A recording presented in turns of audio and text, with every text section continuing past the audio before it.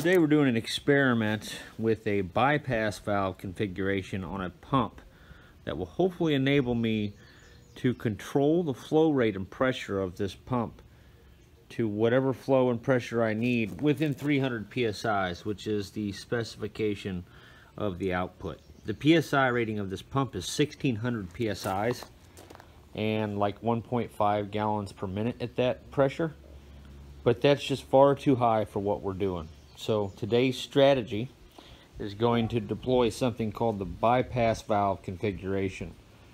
Never seen a pump like this in my life, though I do believe it's used in large oil furnaces or oil boilers. I guess a long story short, finding a low flow, high pressure water pump is impossible for under a thousand dollars that is.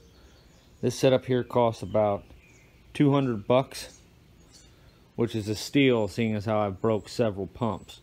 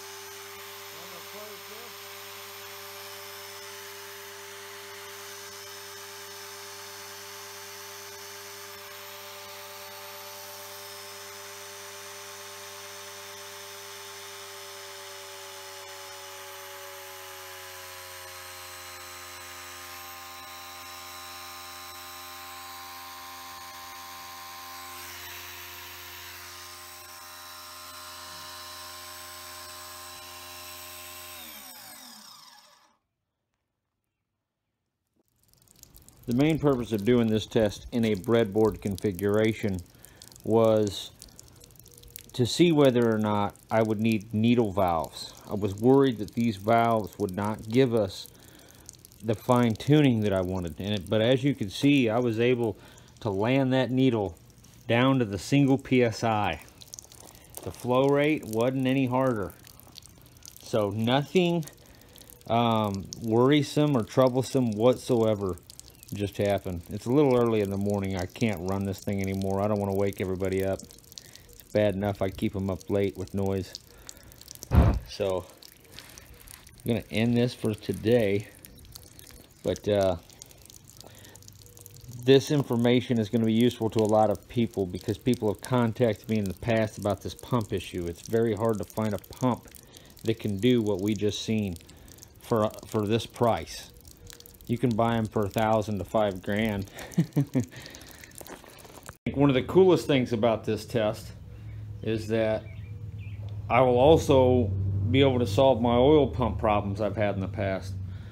Building oil pumps for waste oil burners is very hard to do. See, I have this set up here and it just doesn't do what you want it to. It's a very pulsy gyration type pump. This will probably be the same way though, now that I think about it. It's hard to say. I could put uh, a water hammer arrestor on there to act as a cushion. But anyway, the pulsations don't do well on waste oil burners because they translate into the fireball pulsating. Every time the, the G-rotor lobes a clump of fluid into that line, it's like a machine gun, okay? So that frequency is very observable in the flame and it does things that that do what I would consider to be unstable. It's just not as stable of a combustion and I don't think it's as hot as it can get.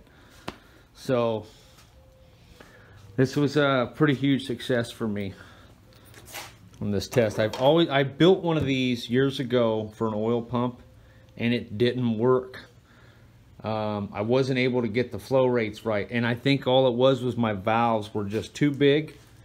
Um, I used large valves like these here. And these don't give you very good fine tuning.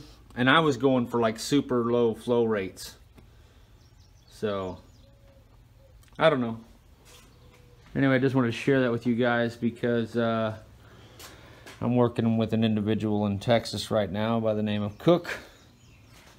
And uh, this video is mostly for you, brother. I mean, this is for Carlos also. This is your pump, Carlos. We are installing this bad boy.